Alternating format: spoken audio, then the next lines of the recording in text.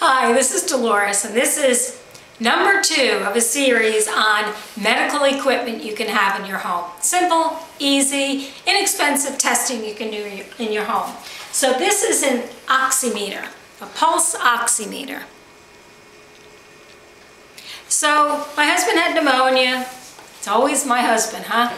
So Steve had pneumonia, we went to the doctors, and we realized that they were charging him $15 to put this little thing on his finger.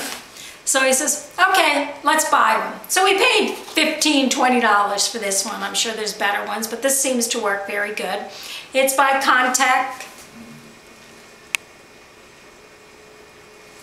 We've had it a couple months now and it seems to be good. It comes with a little case if you want a little case to put it in.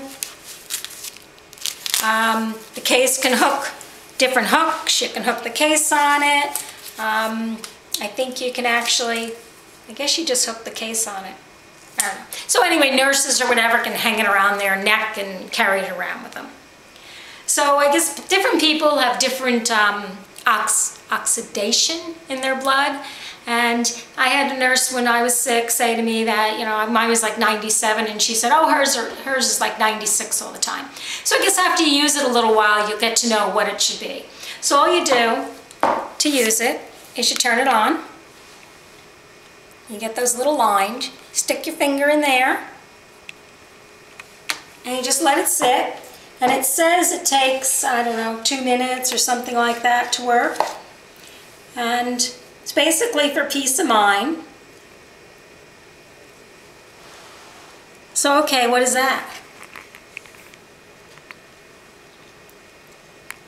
Now it's saying I have a 90, 90 oxygen level and 92 pulse. Well, that doesn't look real good, does it? Yeah, try that again. Dolores freaks out online about her oxygen level.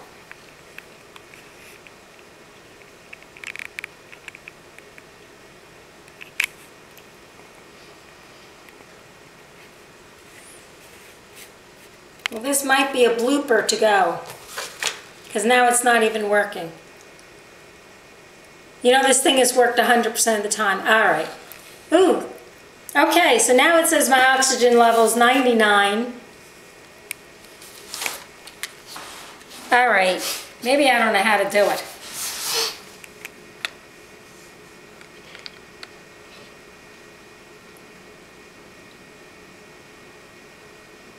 Try number three on the oximeter. That looks about right. What does it say? 96 on the oxygen, 107 on the pulse.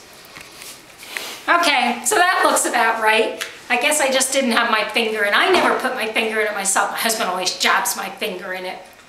So anyway, it's a good little gadget. I don't know. It's fun to play with.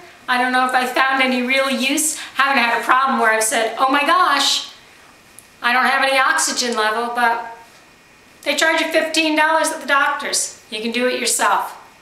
So looks the same as the doctor's, seems to be pretty accurate. My husband's done it here and then done it at the doctor's office. It's been the same.